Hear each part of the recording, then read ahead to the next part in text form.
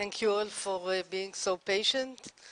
Uh, I'm here in the program and I was introduced as a professor for electrical engineering, uh, but I have no equation and like no technical material like the last uh, talk in my presentation. I'm going to talk about ethics, which is usually under uh, humanities, right?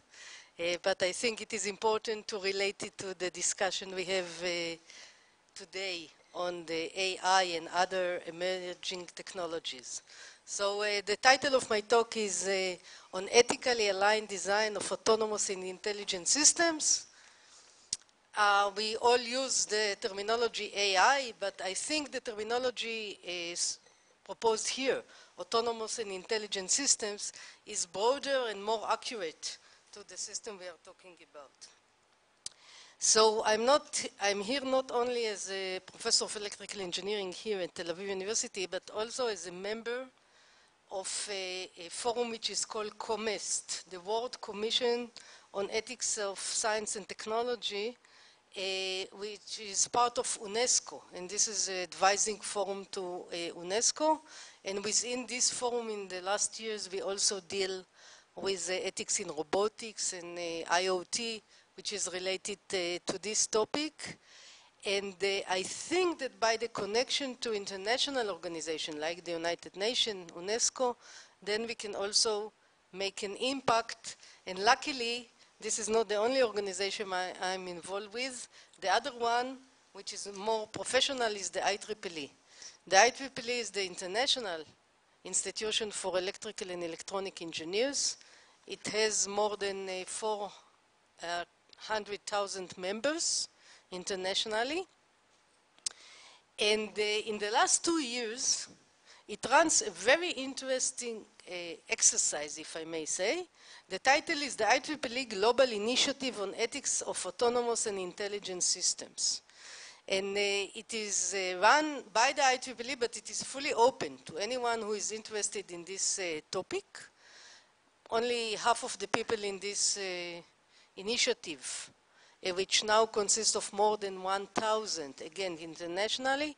Only half of them are engineers, the rest come from philosophy, from law, from other topics, people who feel that they have something to contribute uh, to this uh, um, topic.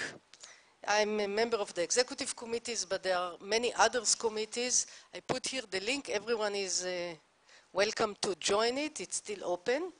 And uh, I just want to read the mission for you because I think the mission says, says it all. The mission of this initiative is to ensure that every stakeholder involved in the design and development of autonomous and intelligent system is educated, trained, and empowered to prioritize ethical consideration so that these technologies are advanced for the benefit of humanities. And it really says it all. We really heard this afternoon, I, unfortunately I missed the morning, but probably the morning was the same, about all the potential of the AI or AIS technologies, but there are also risks and there are also ethical hazards and we should make sure that we maximize the potential for, for uh, humanities. And uh, as a result of this initiative, there is a report. Again, the report is open. You are most welcome to look at it. The title of the report is uh, Ethically Aligned Design. The first version of uh, this report was published online more than a year ago, and it was open for comments globally, internationally, for many people. And after the comments has arrived, have arrived, then th there was a second round of all these uh, people who are involved, which I say are now more than 1,000, to discuss the comment. The second version was uh, out last December, and now we are discussing with the uh, comments that arrived to, to this uh, second version after the report is uh, finalized. The report is, is quite big. There are, I think, one, like uh, 150 pages. But I just put here on these slides uh, what they call the general principles. The general principles are the five principles that you can see here in red. And uh, the principles are, these basic general principles are the main principle that should be embedded in the design of, of AIS system. Human rights, as detailed here, well-being, which I also mentioned, accountability, transparency, and awareness of misuse. Some of these items were mentioned before by previous speakers, like who is responsible for accidents by autonomous cars, etc., etc. This is very much related to accountability. Um, but these five main principles were proposed in this report as the main principles uh, of, of uh, ethically aligned design. And the, the question is, how do you implement the recommendations which were given in uh, this report and with this initiative? Generally speaking, there are two lines for the implementation. One line is uh, by standards. As you probably know, the IEEE is responsible to many standards. Many of them are uh, adopted by uh, technology leading companies uh, all over the world. And right now, uh, there is an active work for adapting the following, formalize and adapting the following standard. And as you can see, these standards are related to conclusion and recommendation that came out of the report. And uh, standards are, are uh, voluntarily adopted by companies. But if they are, then within this tool of standard, which is kind of a soft regulation, you can really advance many of the principles. Uh, the other uh, channel for implementation of the recommendation, which is closer to my role here in the university, is what I call implementation by education. I can go back to the mission. I don't have much time, but I have enough time to go back three slides. But if you go back to the mission, the, the three underlined words that I put in the mission, educated, trained, and empowered, okay? So I'm now talking about the education, and uh, when we talk about the, the difference between educated and, and trained, the way I see it, is you train people which are already on the job market, and you educate people which are just before the job market, meaning they are our students.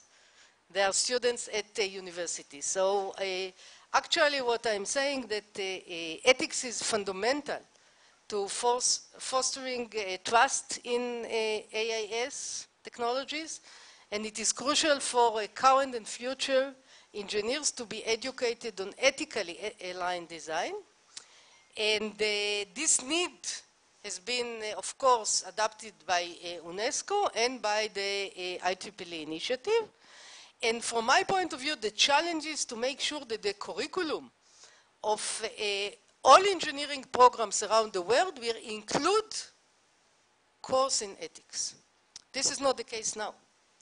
Not in Tel Aviv University, not in many other uh, uh, places. But if we do it while we have our students and we can put it in the programs, then we can make sure that future engineers are aware of the risk so they optimize technology with respect to ethically aligned design. And I think that the involvement of an international organization like the IEEE and UNESCO is a big uh, opportunity. So that's uh, where we are heading. And uh, just to, to mention a few things, I know I don't have much time. First of all, this is not new. In North America, in Canada, in, in the US, there are many universities where you already have ethical courses. And uh, if you just uh, look at this report, which is a report for uh, the National uh, uh, Science and Engineering, uh, it is called the National Academies for Science, Engineering and Medicine, the report from 2016, it says that about the US example, the title of the report is Infusing Ethics into Development of Engineers.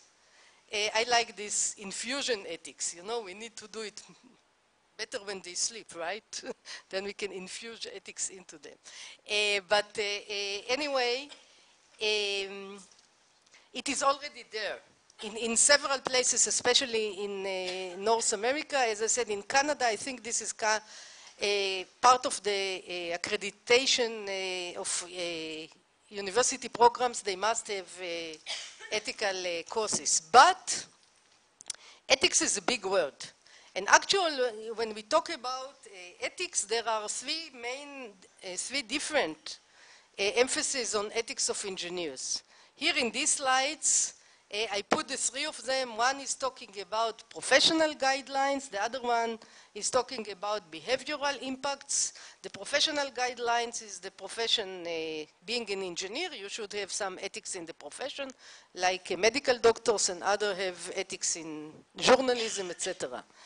Uh, the behavior, the, third one, the, the second one, the behavioral impacts, is the, the, the, fact that you should be honest, you should be fair, you should be transparent as a person, but the interesting part is the third one, and this is the one we are focusing on, which is the, the technology ethics. And when we are talking about AI, artificial intelligence, or AIS, autonomous and uh, uh, intelligent system, then we are talking about the third part of uh, technology ethics.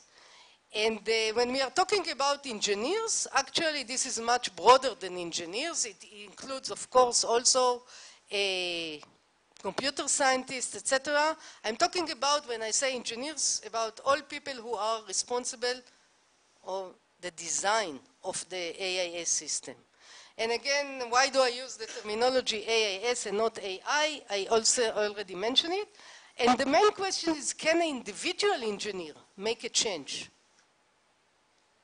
Maybe only the, the big uh, shots, you know, the CEOs or the policymaker. I claim that there is a much, a lot that also uh, individual in, engineer, the, the one who designed the algorithms, at the end of the line, can also make a change. And I finish with a short example. Here is a technical example with no equation. Let's give it as an exercise. I can give it as an exercise to my student. Take this photo of the crowd and tell me how many people uh, are in the crowd.